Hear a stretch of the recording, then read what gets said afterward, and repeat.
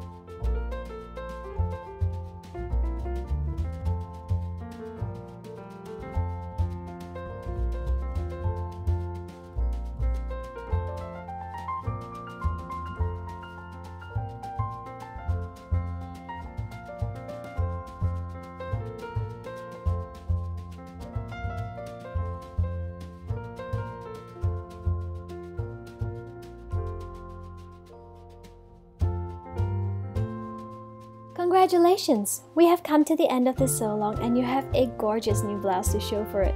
I hope you enjoyed the sew as much as I did. For sewing inspiration or pattern support, please do swing by our Facebook page at Wardrobe by Me Pattern Support or on our Instagram page at Wardrobe by Me Patterns. If you enjoyed this video, please do hit that like and subscribe button so you can stay in touch with our latest pattern news and sewing tutorials. As always, it's been a real pleasure sewing with you and until our next sew together, happy sewing!